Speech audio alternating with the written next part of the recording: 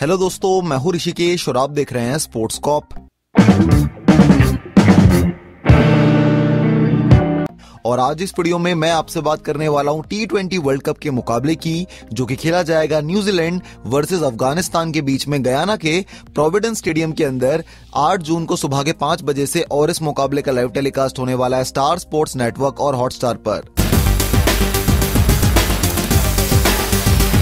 अगर मैं आपसे बात करता हूँ गयाना की पिच रिपोर्ट के बारे में तो मेरे हिसाब से काफ़ी अच्छा मैदान है। ये बैटिंग को भी यहाँ पे हेल्प मिलेगी, यहाँ पे बॉलिंग को भी हेल्प मिलेगी। एक काफ़ी बैलेंस टका को देखने को मिलने वाला है। जो भी टीम टॉस जीतेगी ना इस मुकाबले में, पहले गेंदबाजी करना चाहेगी। सबसे पहले मैं आपसे बात करता हूँ न्यूजीलैंड की टीम के बारे में, जिनका ये पहला मुकाबला इस साल के टूर्नामेंट का, और ज़रूर से ये लोग जीतना चाहेंगे। केन विलियमसन कप्तान है इस टीम के, और ऑब्वियस सी बात है, इन पिचों को देखते हुए जो केन विलियमसन है, उनकी बल्लेबाजी काफ़ी बड़ा रोल प्ले करने वाली इस मुकाबले में। अच्छी बात यह है कि डेवन कॉर्न में फिट होकर आ चुके चुके हैं इस टीम के अंदर। आईपीएल उन्होंने मिस किया, पर उनकी टेक्निक भी यहाँ पे काम आएगी और फिन एलन के ऊपर ज़िम्मेदारी होगी तेज शुरुआत देने की। बहुत ही कमाल के प्लेयर हैं वो ओपनर है टी फॉर्मेट के।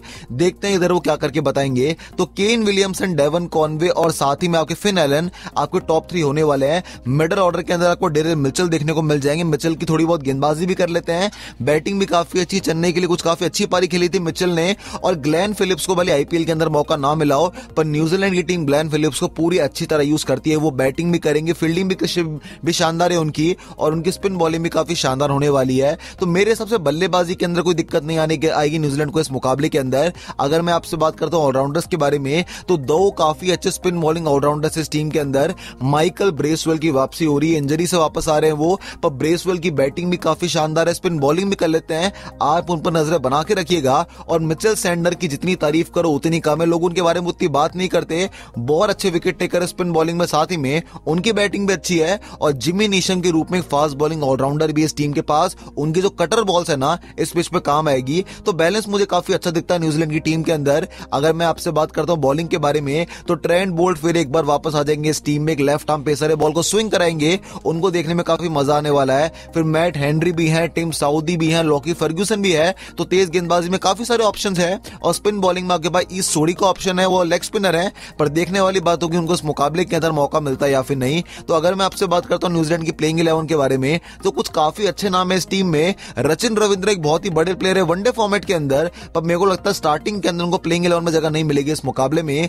न्यूजीलैंड के लिए ओपन कर सकते हैं डेवन कॉनवे और फिन एलन नंबर तीन पे केन विलियमसन नंबर चार पे डेरल मिचेल नंबर पाँच पे ग्लैन फिलिप्स नंबर छह पे जिमी नीशम नंबर सात पे माइकल ब्रेसवेल फिर Mitchell Santner Trent Boult Tim Southee और लॉकी फर्ग्यूसन तो ये टीम हो सकती है इस मुकाबले में न्यूजीलैंड की, और ज़रूर से ये लोग जीतना चाहेंगे। अब मैं आपसे बात करता हूँ अफ़गानिस्तान की टीम के बारे में, जिनको पहले मुकाबले के अंदर तो जीत मिल गई, लेकिन ये उनका बड़ा मुकाबला होने वाला है न्यूजीलैंड से। पर देखो, यहाँ की जो पिचेस हैं, वो अफ़गानिस्तान को बहुत ज़्यादा रास आने वाली है। नवीन उलक ने पिछले मुकाबले में काफ़ी डिसेंट गेंदबाजी करी थी, फिर एक बार कंटिन्यू करना चाहेंगे वो इस मुकाबले में। उनके जो कटर्स है ना, इस टीम के काम आएगी। फजल हुक फरूकी ने पिछले मुकाबले के अंदर पाँच विकेट निकाले थे। एक बहुत ही अच्छे लेफ़्ट आर्म पेसर है इस मुकाबले के अंदर फिर एक बार वो टीम के बड़े विकेट टेकर होंगे। और राशिद खान तो ऑब्वियस सी बात है, एक बहुत ही बड़े प्लेयर है इस टीम के। कप्तान भी होने वाले हैं विकेट टेकर है ऑब्वियस सी बात है, वो कमाल करेंगे। और मुजीबुर रहमान के बारे में लोग उतनी तारीफ़ नहीं करते, पर मुजीबुर रहमान भी बहुत ही कमाल के विकेट टेकर हैं। पावर प्ले के अंदर वो गेंदबाजी करेंगे।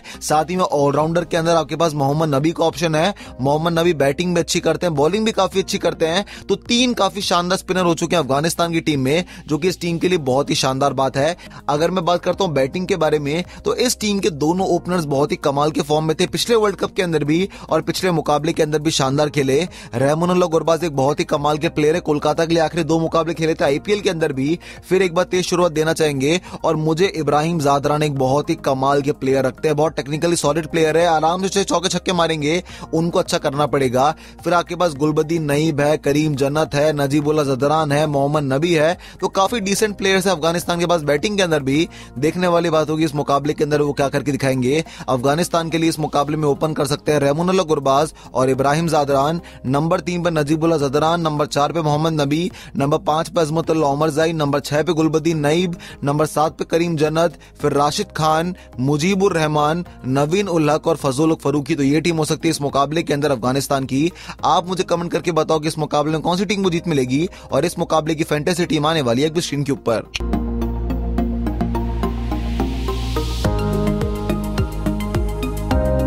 वैसे ये मुकाबला काफ़ी बराबरी का होने वाला है। अफ़गानिस्तान में इन पिछों के ऊपर काफ़ी कमाल की टीम होगी, पर मुझे वाई बारी इस मुकाबले में जीत मिलेगी न्यूजीलैंड की टीम को।